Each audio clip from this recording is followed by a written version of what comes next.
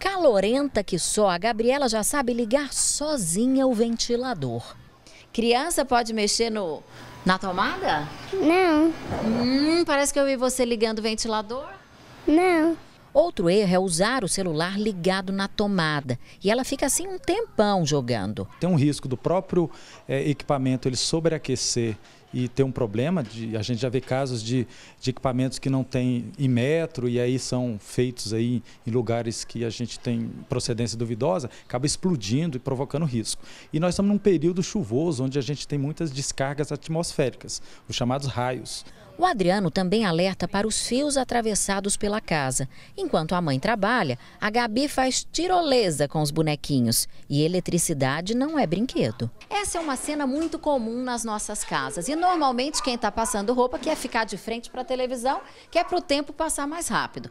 As crianças estão circulando por aqui, o que torna isso aqui uma atividade extremamente perigosa. Porque o ferro, além do risco de choque elétrico, tem o risco de queimadura. Você, inclusive, já passou por isso. Tem a marquinha aqui na mão. Você era criança, como é que foi? Minha mãe estava passando roupa, se distraiu. Eu peguei o ferro para passar uma roupinha e acabei me queimando. Ela só ouviu o grito e veio correndo. Só ouvi o grito. No caso do apartamento dela aqui, esse aqui seria o local mais apropriado para ela passar a roupa. É um, um ambiente mais isolado, então consegue até fechar isso aqui para evitar a, a passagem das crianças. Né? Então diminui bastante esse risco. Gambiarras também potencializam o risco de acidentes. Se a tomada é de três pinos, é porque o aparelho requer. Eu não consigo conectar ele na minha tomada. Né? Então a. pinos, né? É os três pinos e a, a questão dessa bitola, que ela é mais larga. Então eu preciso de um adaptador, ou eu troco a tomada, ou eu coloco o adaptador aqui, o que a gente fez.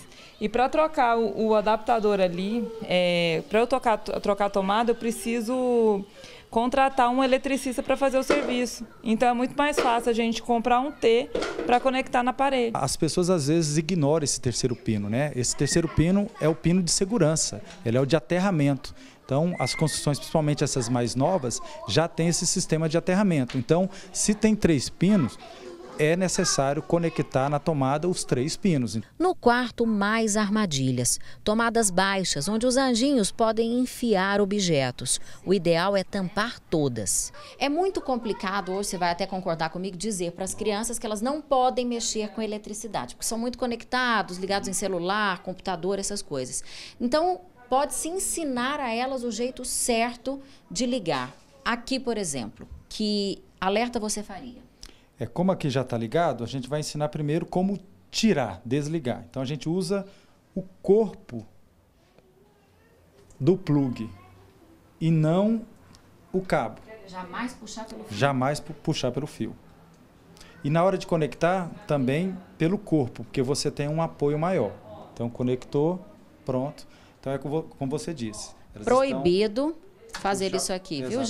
gente? No banheiro, o perigo é usar o secador de cabelo perto da torneira. Mesmo o vapor do chuveiro pode provocar uma explosão.